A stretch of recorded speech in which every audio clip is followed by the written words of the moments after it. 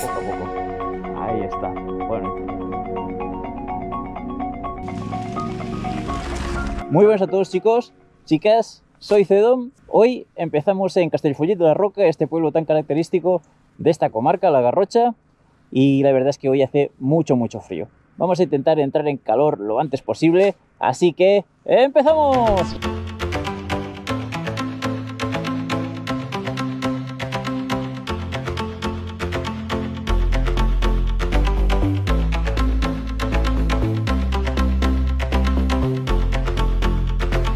Pues al salir de Castellfollit de la Roca vamos a hacer unos pocos kilómetros de este tipo de carreteras, ya veis, muchas curvas muy bonitas. Hay que vigilar y es que ya os digo que hace mucho frío. De hecho, llevo estos guantes que, bueno, eh, no serán los más cómodos, no serán los que más tacto tienen, pero bueno, eh, lo importante es tener las manos bien protegidas y no perder sensibilidad, no ir cogiendo frío en las puntas, que luego pues tampoco tenemos tacto, así que prefiero un guante algo más grueso hoy que hace mucho frío que no tener las puntas de los dedos congeladas.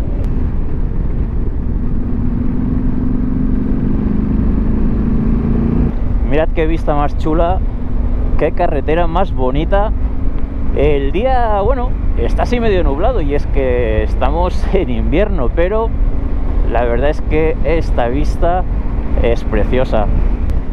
Mirad, aquí sube esta pista. Eh, esta carretera es la que va de Castellfollit de la Roca a Oix, dirección Baget. Y por esta carretera hemos cambiado de comarca, ya no estamos en la Garrocha, estamos en el Ripollès. Aquí a la izquierda sale esta pista, empieza esta pista que ya veréis que es un tramo relativamente corto, eh, pero con mucha piedra que nos ayudará a entrar en calor por suerte. Y es que, si podéis ver aquí, estamos a un grado llevo los puños calefactables a tope, estos guantes. Este tramo de pista inicial lo hice pues hace ya unos años, yo diría que ya hace un par de años, con la Africa Twin.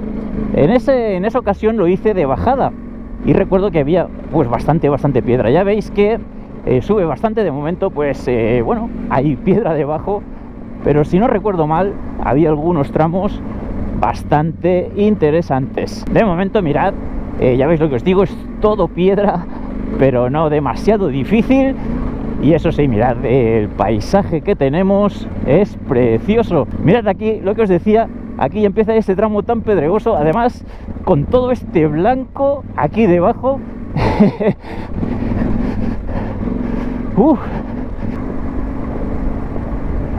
Pues sí, chicos, ya sé que llevo muy pocos kilómetros, pero mirad el paisaje, mirad la pista por donde viene, con todas estas hojas, con todo este blanco.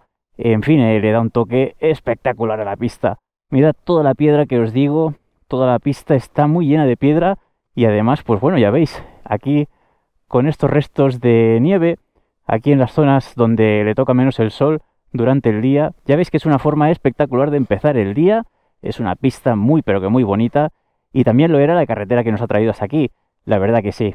Pues seguimos por esta pista, eh, con mucha piedra ya veis, aquí debajo, con toda esta nieve y aquí en la parte donde le da el sol pues ya veis que desaparece la nieve. Hay algunas zonas en las que se escucha el ruido del hielo de algún que otro charco algún charco pequeño.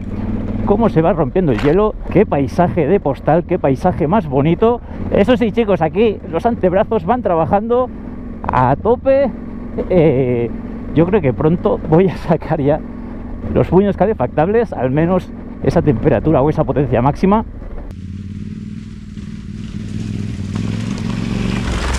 No esperaba encontrarme eh, un día así de soleado y la verdad es que es una auténtica maravilla poder ir con algo de sol, además da esa sensación de más calor, evidentemente, que pasada de tramo. Si no recuerdo mal, aquí es donde eh, había... Ahí está, mirad, aquí hay bastante piedra y yo creo que por aquí con cuidado. Ahí está. Es que mirad qué espectáculo, mirad los árboles, mirad las hojas. Este toque de blanco debajo es precioso este recorrido. Mirad qué maravilla de paisaje. Oh, si no fuese por el frío y la pereza que me da sacarme estos guantes, eh, me pararía a hacer fotos cada dos o tres eh, curvas. Pero si no, no llegaré a ningún sitio. Aunque no me negaréis que este paisaje no es digno de foto. Mirad qué bonito. Mirad, yo creo que ya nos acercamos al cruce y si no recuerdo mal, aquí había una, una puerta, una valla que había que abrir para venir hacia aquí.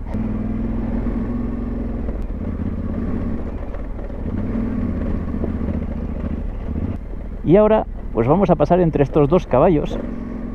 A ver, tranquilo, poco a poco. Ahí está. Bueno, intento no dar demasiado gas. Los caballos son animales muy sensibles. Hay que mirar pues de no dar golpes de gas. Eh, y si se puede, que ahora pues la verdad que no lo he pensado, intentar pasar con el motor parado eh, entre las piedras, las clapas de hielo y disfrutar de la vista de los caballos, pues la verdad es que no he pensado en parar el motor. Pero si tenéis la oportunidad y pasáis cerca de caballos a muy bajas revoluciones o con el motor parado, es lo ideal. Mirad qué pasada de tramo. Y ahí está esa verja. ¡Wow! Mirad las montañas ahí con algo de nieve que ya se echaba en falta. A ver, vamos a abrir esto. Mirad justo aquí cuando pasamos esta puerta. Eh, tenemos este indicador que nos marca San Valentí de Salarsa o Salarsa. Y en la anterior ocasión que pasé por este tramo de pista, que nos lleva a la carretera venía de allí. Eh, si queréis hacer esa ruta, os dejo el vídeo por aquí. Hoy voy a seguir este trazado, voy a ver esa ermita y así pues también voy descubriendo sitios nuevos de la montaña. Bueno, ya veis como siempre en la montaña que la cara que queda eh, de espaldas al sol, pues aquí está completamente blanca. No hay mucho espesor de nieves, ¿verdad? Y es que este año pues hay pocas precipitaciones, pero eh, ya habéis visto que donde daba el sol hacía un día estupendo, todo seco, y aquí en la parte donde no da el sol, pues parece que haya nevado recientemente. No os voy a negar que esta mañana al salir de casa con el frío, mirando la temperatura eh, y el viento que hacía, pues me daba un poco de pereza. Pero si pensamos que nos vamos a encontrar pues paisajes, vistas como estas, recorridos tan espectaculares, eh, hay que superar esa pereza, hay que superar ese frío inicial y hay que venir a disfrutar también de las pistas en invierno con estos colores guapísimos. Voy a sentarme y voy a ir eh, relajado y es que ya me he llevado un par o tres de sustos. Aquí hay algún trozo que está helado y hay que ser y hay que ser muy suave con el freno, con el gas, porque a la mínima que tocamos algo el delantero o el trasero vaya, eh, la moto pues patina. Bueno, aquí yo creo que esto lo ha abierto alguien. Muchísimas gracias. Como siempre ya sabéis que también me gusta comentar un poco el nivel de dificultad, al menos desde mi punto de vista, cuidado. Yo diría que de momento el recorrido que llevamos de off, de campo, es bastante moderado, chicos. No os confiéis. Oh, mirad qué bonita. Mirad ahí la ermita rodeada de esos árboles con este sol magnífico ¡Qué preciosa! Pues la vista de la ermita desde el camino con estos árboles era preciosa, pero mirad qué ermita más bonita, mirad qué espectáculo visual más chulo.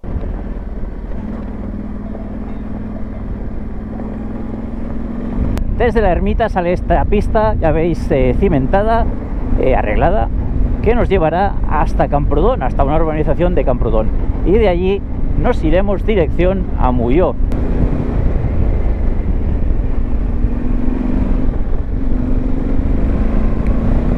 Llegamos a Espinabell y desde aquí sale una de las pistas más bonitas, más asequibles y más espectaculares de la zona. Y mirad qué bonita que está con este toque de blanco.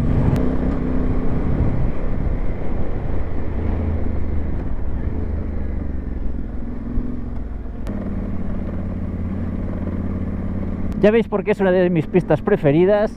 Es una pista espectacular Además, eh, hoy, bueno, pues tiene mucha nieve, pero normalmente esto se puede hacer en turismo perfectísimamente. Qué pasada de vista, qué pasada de pista. Mirad el paisaje, es una maravilla.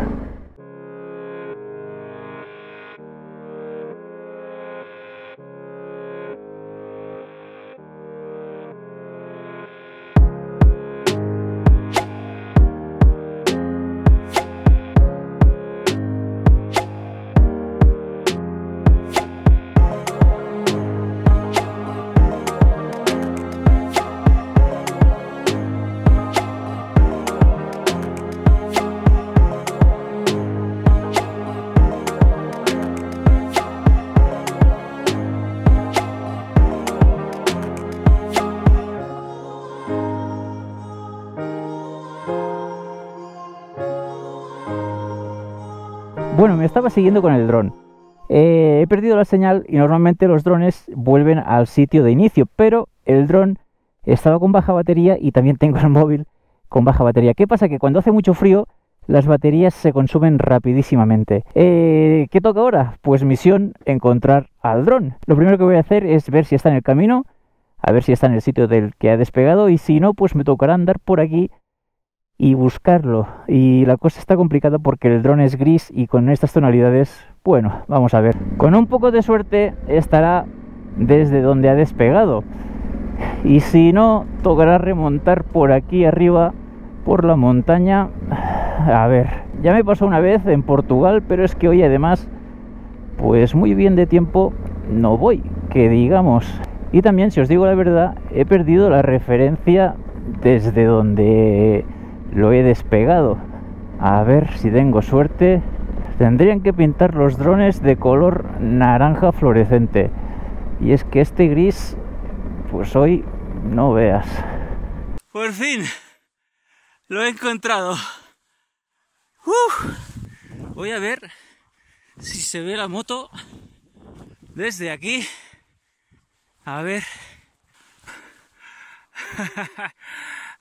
Pues después de recuperar el aliento, creedme que he estado mucho rato buscando el dron y es que el móvil se me había quedado sin batería. He tenido que esperar a cargarlo un poco para poder cargar la aplicación de DJI y eh, ir con la aplicación buscando la última ubicación conocida del dron. Lo digo yo y no soy referente ninguno, pero no entréis en pánico si perdéis el dron. Yo ya estaba hoy pensando en cómo comentar en casa que he perdido el dron. Pero por suerte con paciencia y poco a poco he tenido que andar un montón, he podido localizar el dron desde su última ubicación conocida.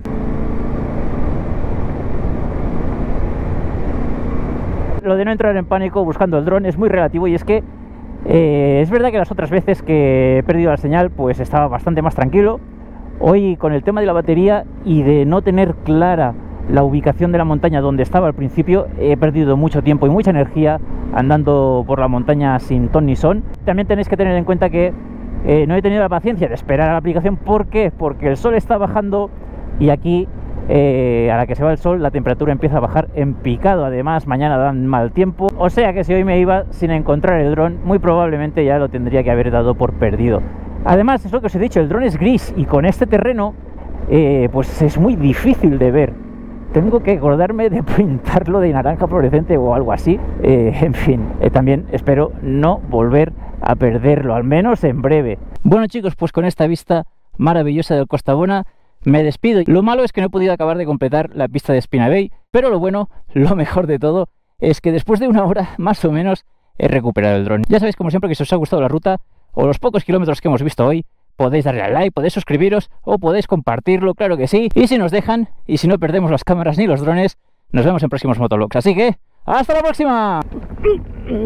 Chicos, mirad hacia adelante.